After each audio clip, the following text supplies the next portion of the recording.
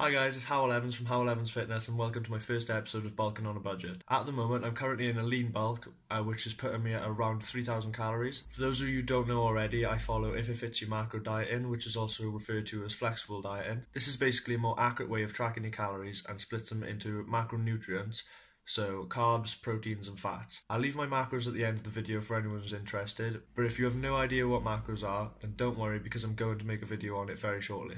For my lean bulking phase, I'm aiming to gain around 0.5 pounds per week. I'm aiming for around 250 calorie surplus on my maintenance calories. There are loads of calculators online if you want to work it out for yourself, but honestly, the best way to work it out is just through trial and error and diet. Obviously, everybody's different, and no calculator is able to tell you exactly what you need. Today, I'll be taking you through my full day of eating and showing you every meal for the day. This video is just a great way to show you that if it fits your macros, is a great way of dieting, and you don't have to stick to chicken and rice every single day to achieve a body that you love. If this video helps you in any way and gives you some ideas for recipes, then obviously please hit the like button and subscribe if you're new. This is obviously the first episode, and I intend to make a lot more. I can show you guys basically how to utilize if fit your macros and all the varieties of foods you can eat. So it's 20 past 10 now and I'm just about to go get some breakfast. I'll show you guys what I get.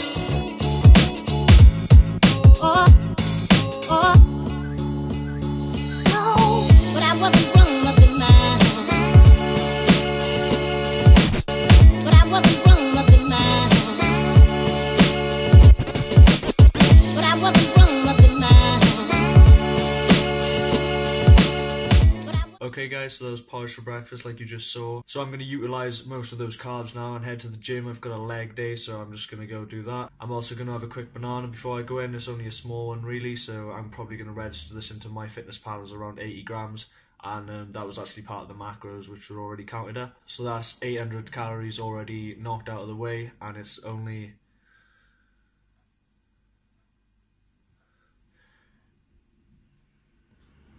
It's only 11 o'clock now, so I'll check back in when I'm back from the gym.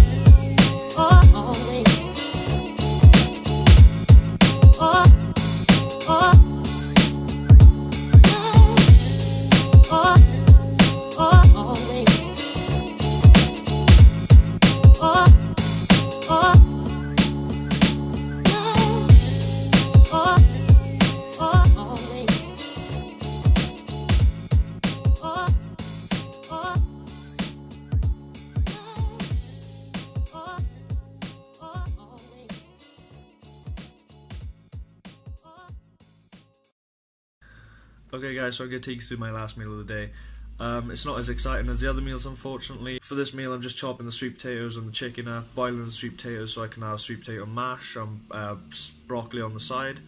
Chopping up the chicken and flavouring it with whatever I fancy. I think I'm having Cajun chicken for this meal. And then we're just going to top it with some Nando sauce. Just a quick breakdown of my macros at the end of the day. My aim for the macros are 400 carbs, and 65 fat, 190 protein. So like I'm one or two grams out with most of them. I'm not gonna stress about it. If anything, they're over, which is brilliant. I'm in a lean bulking phase, like I said. And if this video has helped you in any way or help you think of any recipes, then please leave me a like and thank you for watching. I'm gonna make a lot more of these because this was actually really fun to make. So subscribe if you're completely new. That would be awesome, and I'll catch you in the next one.